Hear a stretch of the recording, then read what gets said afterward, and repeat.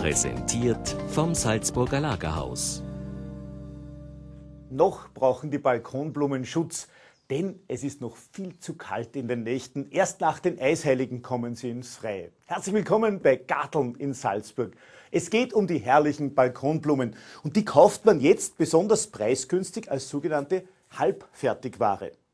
Die stehen beim Gärtner noch für einige Wochen und werden dann ausgepflanzt oder man hat so ein Gewächshaus und macht das selber. Und das funktioniert auf ganz einfache Art und Weise.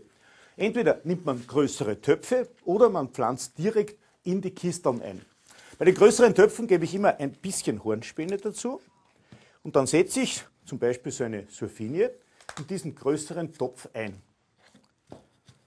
Da wachsen sie und werden groß und können dann ausgepflanzt werden mit einer stattlichen Größe. Beim Kistel funktioniert es ähnlich, auch Hornspäne einstreuen. Das ist der beste biologische Langzeitdünger, den es gibt. Leicht einarbeiten und dann wird gepflanzt. Hier haben wir zum Beispiel wunderschöne Pelagonien, aber die Kinder. Wenn man zum Beispiel so eine weiße Pelagonie nimmt, dann wird hier gesetzt und bis die Eisheiligen vorbei sind, sind das schon stattliche Pflanzen. Und dann können Sie stolz sein auf Ihren bunten Balkon. Ich wünsche viel Spaß beim Garteln. Präsentiert vom Salzburger Lagerhaus.